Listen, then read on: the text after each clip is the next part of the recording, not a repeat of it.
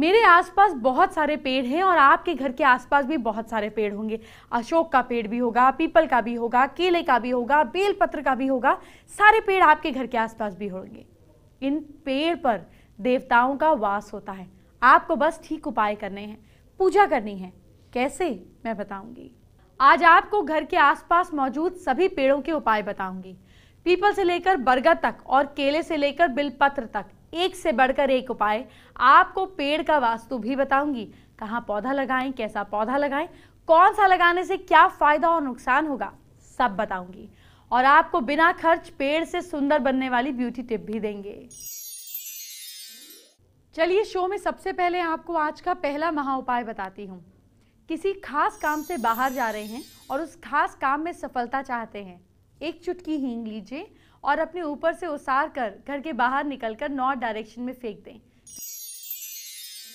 हर पेड़ अच्छा होता है, शुभ होता है और हमारे लिए लाभ भी लेकर आता है। आज मैं आपको पीपल के पेड़ से कुछ अचूक उपाय बताने जा रही हूँ। इसके बाद आपके अंदर से पीपल के पेड़ का डर निकल जाएगा। पीपल को चमत्कारी माना गया है और इसमें कई देवी देवताओं का वास है। इसी वजह से इस पेड़ के आसपास की गई पूजा या उपाय बहुत जल्दी असर दिखाते हैं। अगर कोई भी नियम से पीपल के उपाय करेगा तो वो कुछ ही समय में अपनी किस्मत बदल सकता है। जो लोग पैसों की कमी से परेशान हैं, उनके लिए यहाँ कुछ खास उपाय हैं। शनिवार के दिन पीपल का एक पत्ता जो नीचे गिरा हुआ है, तोड़ना बिल्कुल नहीं है हाँ। कभी भी कोई भी पत्ता ना तोड़े, जो गिरा है उसी से उपाय करें।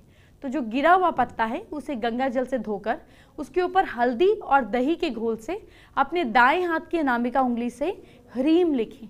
इसके बाद इस पत्ते को धूप दीप दिखाकर अपने बटुए में रख लें। और शनिवार को पूजा के साथ वो पत्ता बदलते रहें। ये उपाय करने से आपका बटुआ कभी भी धन से खाली नहीं होगा, पुराना पत्ता किसी पवित्र स्थान पर ही रखें। अब दूसरा उपाय सुनिए। मंगलवार को, शनिवार को ब्रह्म मुहूर्त में उठें। और इसके बाद फ्रेश होकर पीपल के पेड़ के 11 पत्ते ले लीजिए। ध्यान रखें पत्ते पूरे होने चाहिए टूटे फूटे खंडित ना हो। इन 11 पत्तों को साफ़ जल में कुमकुम या अष्टगंध से चंदन मिलाकर इस पर श्री राम लिखें। नाम लिखते समय हनुमान चालीसा का पाठ करें। इसके बाद श्री नाम का नाम लिखे हुए इन पत्तों को एक माला बनाएँ। इस माला को किसी भी हनुमान जी के मंदिर जाकर वहीं बजरंग बली को अर्पित कर दें। इस तरह ये उपाय करते रहे। कुछ समय में पॉजिटिव रिज़ल्ट आपके सामने होंगे। पीपल में रोज जल अर्पित करने से कुंडली के कई अशुभ माने जाने वाले ग्रह योगों का प्रभाव समाप्त हो जाता है। शनि की साढ़े साथी या ढैया में पीपल की पूजा शनि के कोप से बचाती है।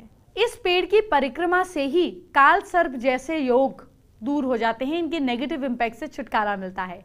इसके अलावा शास्त्रों के मुताबिक इस पेड़ में सभी देवी देवताओं का वास भी माना गया है। तो जहाँ देवी देवताओं का वास है उससे डरना कैसा?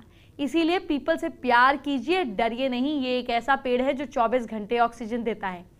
एक पीपल का पेड़ लगाने से किसी भी तरीके का दुख जीवन में आपको नहीं सताता। उस इंसान को कभी भी पैसों की कमी नहीं रहती। पीपल का पेड़ लगाने के बाद उसे रोज जल अर्पित करें, क्योंकि उसका ख्याल भी तो रखना है। जैसे जैसे पेड़ बड़ा होगा, आपके घर परिवार में सुख समृद्धि बढ़ती जाएगी, धन बढ़ता जाएगा। पीपल के बड़े होने तक इसका पूरा ध्यान रखना चाहिए। तभी हैरान करने वाले फ़ायदे मिलेंगे। अगर कोई पीपल के पेड़ के नीचे शिवलिंग रखता है और डेली उसकी पूजा करता है तो ऐसे इंसान की सारी प्रॉब्लम समाप्त हो जाती हैं। इस उपाय से गरीब व्यक्ति भी धीरे धीरे अमीर होने लगता है। कलयुग में हनुमान जी शीघ्र प्रसन्न होने वाले देवता माने गए हैं। इनकी कृपा प्राप्त करने के लिए कई प्रकार के उपाय बताए गए हैं। अगर पीपल के वृक्ष के नीचे बैठकर हनुमान चालीसा का पाठ किया जाए तो ये चमत्कारी फल प्रदान देने वाला उपाय है। शनि दोषों से मुक्ति के लिए पीपल के पेड़ के उपाय रामबाण हैं। शनि की साढ़े साथी और ढैया के बुरे प्रभावों को नष्ट करने के लिए हर सैटरडे पीपल के वृक्ष पर जल चढ़ाकर सात परिक्रमा करनी चाहिए। इसके साथ ही शाम के समय पीपल के वृक्ष के नीचे दीपक जगाना चाहिए। अभी पीपल से जुड़ी और बहुत ज़रूरी बातें करनी है। एक और ख़ास दिन इस पर और बात करूँगी। पीपल की पूजा नहीं करनी है, वो कौन सा दिन है, आपको आगे बताऊँगी। ये सारी बातें शो पर। लेकिन अभी एक और ज़रूरी बात। अब बरगद के पेड़ की बात कर लेते हैं। बरगद का पेड़ भी कमाल का होता है। इसे पुराने वक्त से पूजा जाता है। तो चलिए, आपको बरगद के पेड़ से जुड़े कुछ अचूक उपाय बता देती हूँ। आपके घर के आसपास ज़रूर होगा ये पेड़। पाई कीजिए और फ़र्क देखिए। अश्लेषा नक्षत्र में बरगद के पेड़ का पत्ता ले आए। और घर में जहाँ भी अन्न को रखते हैं, या जहाँ पे भी आपका स्टोर रूम है, वहाँ रख दीजिए। आपको अन्न की समस्या नहीं होगी। बरगद के पत्ते पर हल्दी से स्वास्तिक बनाकर मंदिर में रखने से पैसे की तकलीफ़ नहीं रहती है। बरगद का बांदा बाज़ार में भी मिलता है। इसे अपने हाथ से बांधना अच्छा रहता है। कोई अगर आपको नुकसान पहुंचाना चाहता है तो ये उपाय ज़रूर करें। अगर किसी बरगद के पेड़ के नीचे कोई छोटा सा पौधा उगा हुआ है, नज़र आ जाए और स्वस्थ दिख रहा है तो उसे अपने घर में स्थापित करें। नियमित रूप से उसे जल देकर पूजा करें।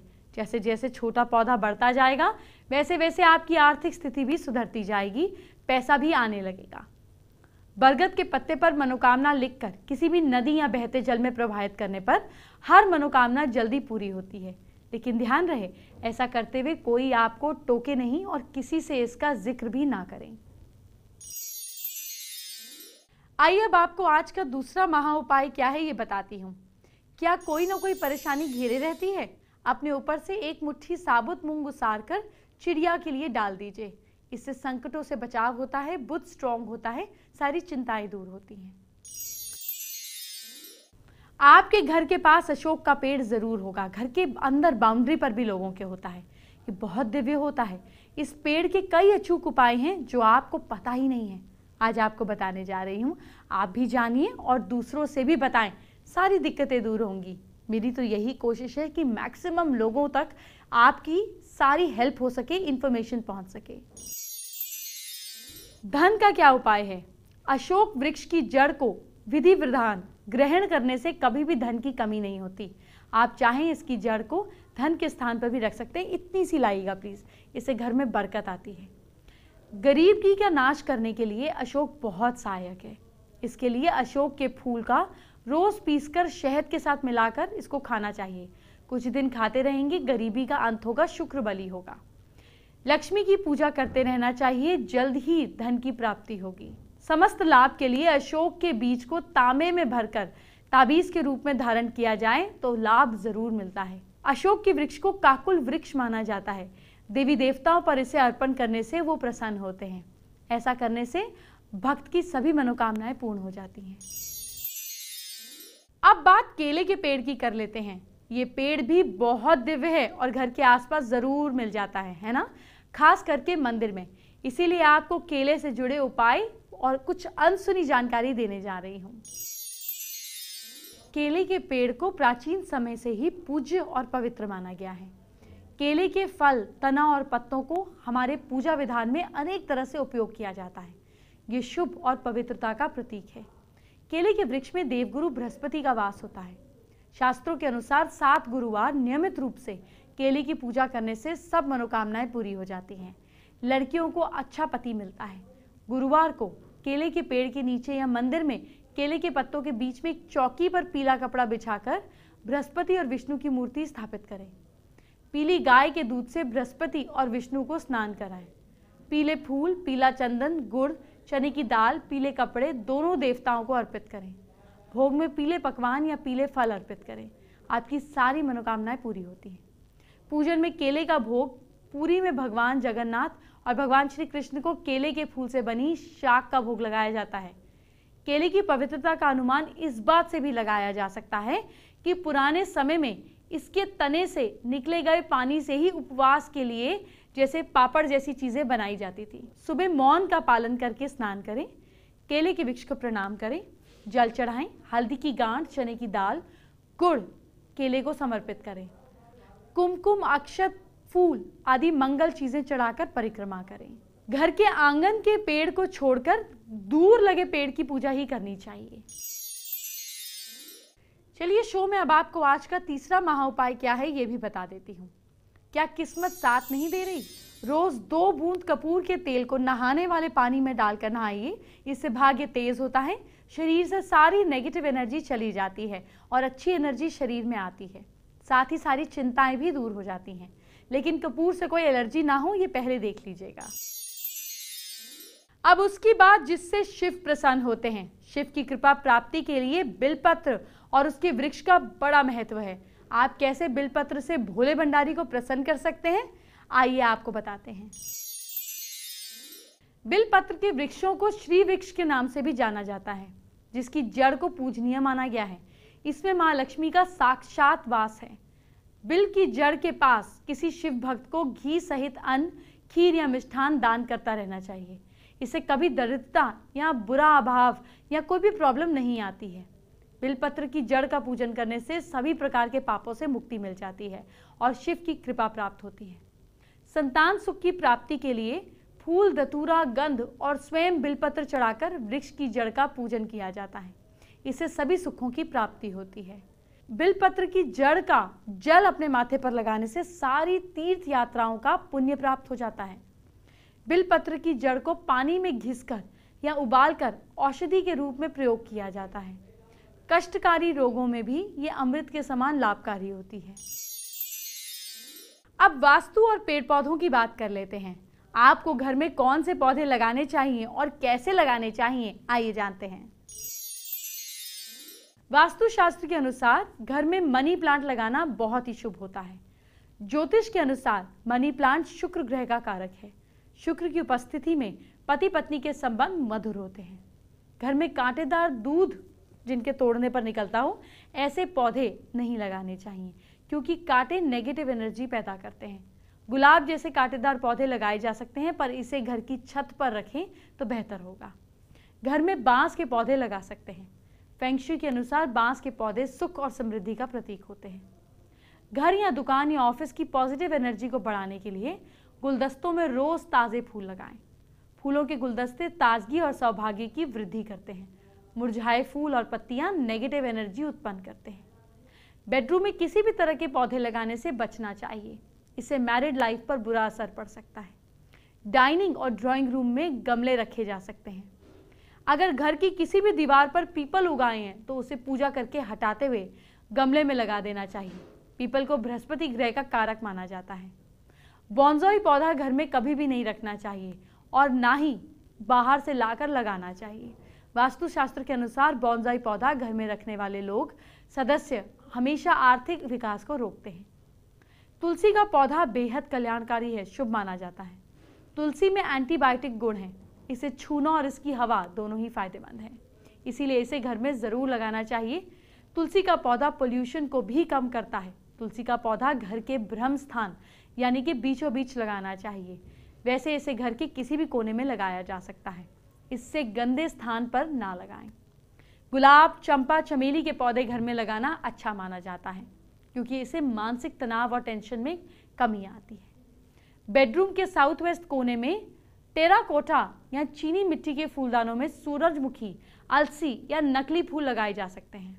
पौधे और फूलों का उपयोग घर के नुकीले कोनों और उबड़ खाबड़ ज़मीन को ढकने के लिए किया जा सकता है।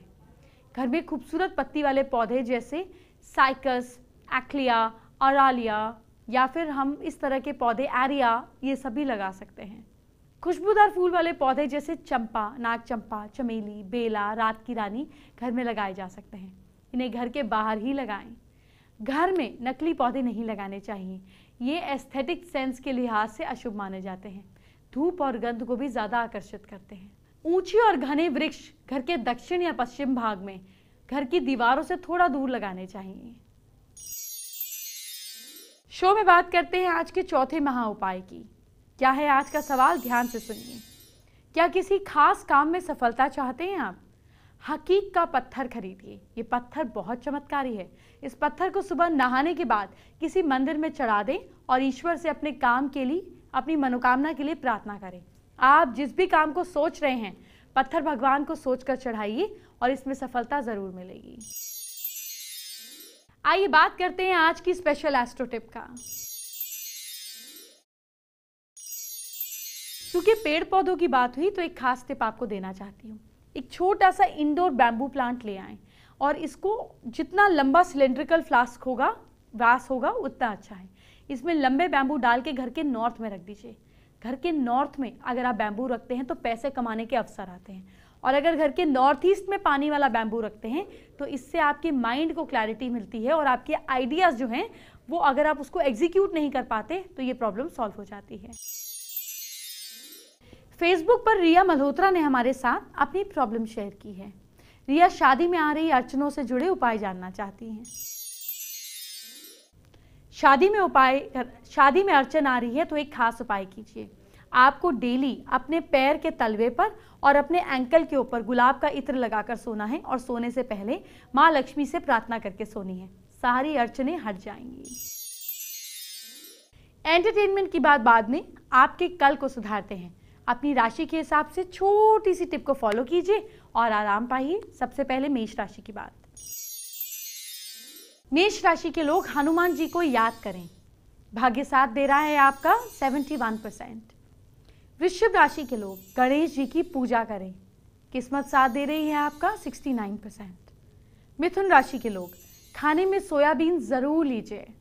भाग्य साथ दे रहा है आपका 59 परसेंट कर्क राशि के लोग काले रंग के जूते पहनिए। भाग्य साथ दे रहा है आपका 52 परसेंट सिंह राशि के लोग नॉनवेज बिल्कुल ना खाएँ। किस्मत साथ दे रही है आपका 47 परसेंट कन्या राशि के लोग मंदिर से हनुमान जी का टीका लाकर माथे पर लगाइए।